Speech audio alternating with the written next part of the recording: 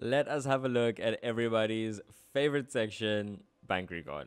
So, terrible joke to start things off. Uh, I know most of you hate it, don't want to see it ever again. You're just waiting for your final exams to be over. So, let us take a look at Mango Traders. Um, the information relates to Mango Traders for June 2023. The business uses the official bank statement, which is received on the 26th of each month. Uh, calculate the following on the 30th of June 2023. So we've got our cash journals, our bank account balance. So we fill it in here, we fill it in here. We've got a bank recon, and we've also got a really nice theory question at the end. So let us complete our journals, our cash journals. So total receipts would refer to the CRJ, and total payments would refer to the CPJ. So our balances of 81,300 and 80,620, it's in bold in the answer booklet, so we don't need to fill it in. Uh, the amounts are coming from here, just in case you were wondering.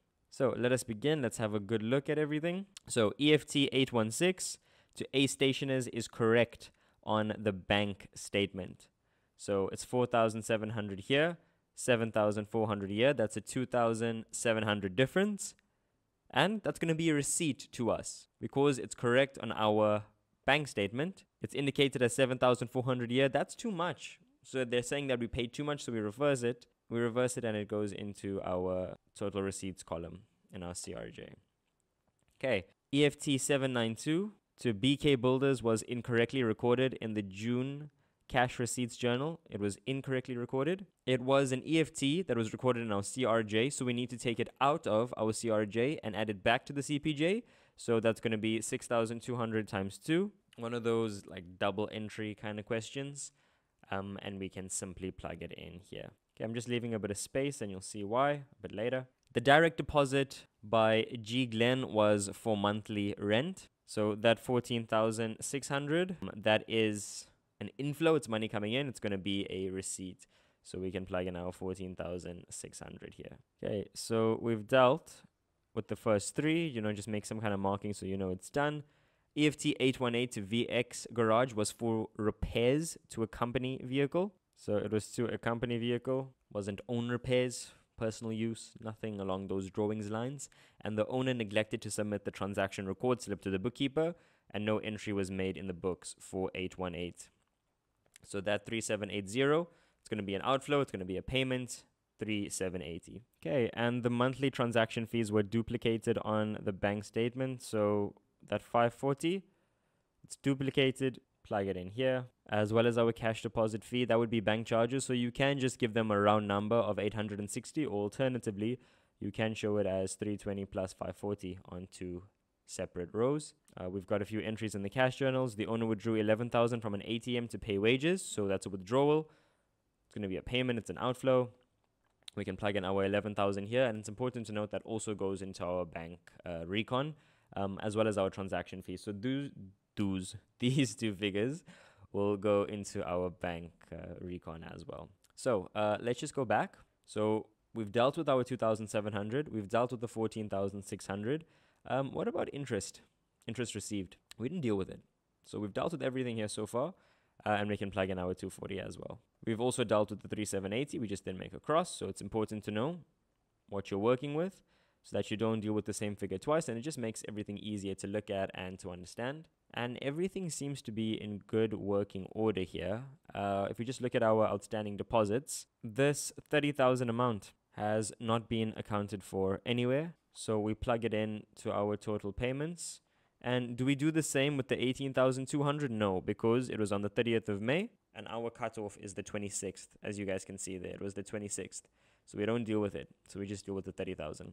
So 81,300 plus 2,700 plus 14,600 plus 240 gives us a nice round total of 98,840. There's 80,620 plus 30,000 plus 12,400 plus 3780 plus 320 plus 540 plus 11,000 gives us 138,660. Now we can calculate our bank balance. So we had a favorable bank account balance of 49,100 and we add our receipts 98,840. We subtract our payments 138, running out of space, 660, and we get 9,280. Okay, it's important to note that this figure also goes into the bank reconciliation statement, that 9,280.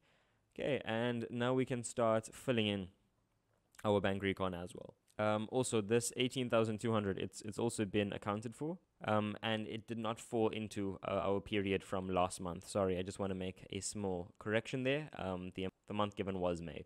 Uh, so it's already been accounted for. Um, had it said 30th June, then we still wouldn't account for it because it's outside of our period. Okay, so our bank recon, we have our balance as per, remember you are not allowed to abbreviate. I'm just doing it to save a bit of space. Uh, balance as per BS.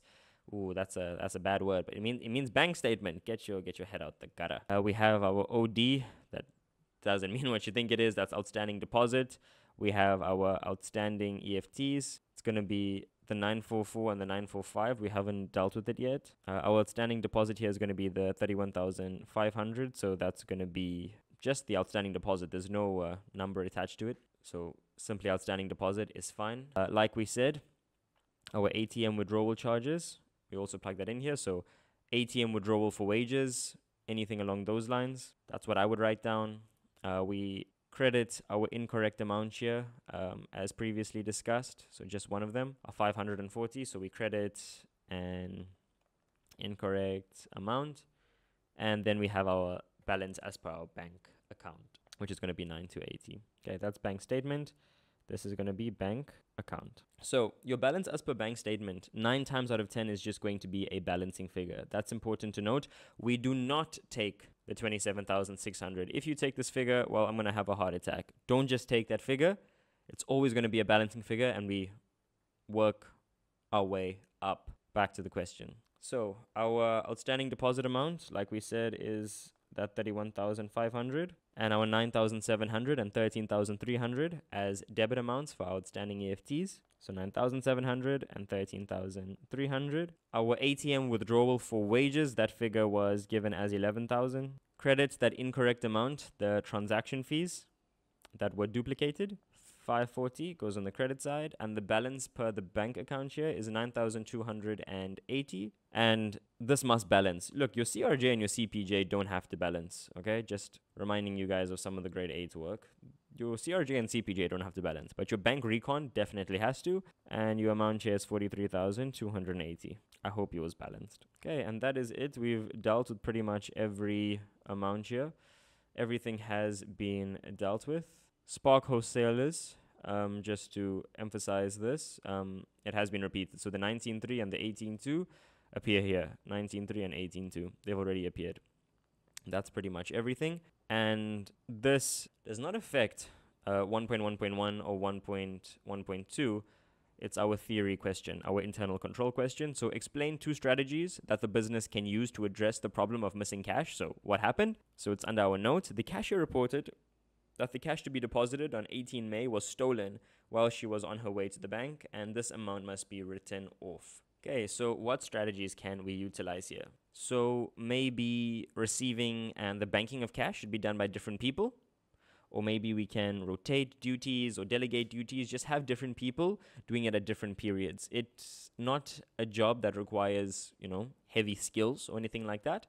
Uh, you're simply uh, receiving and well banking, depositing the cash. So anyone can do it, and we can rotate duties to prevent the mismanagement of the cash.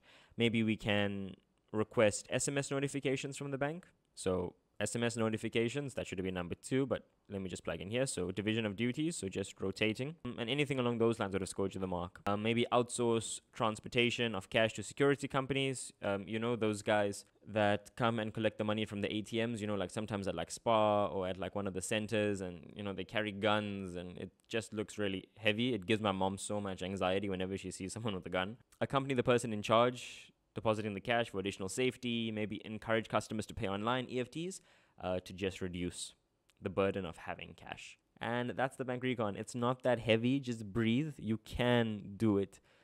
Just get over that hurdle. I believe in you. Good luck.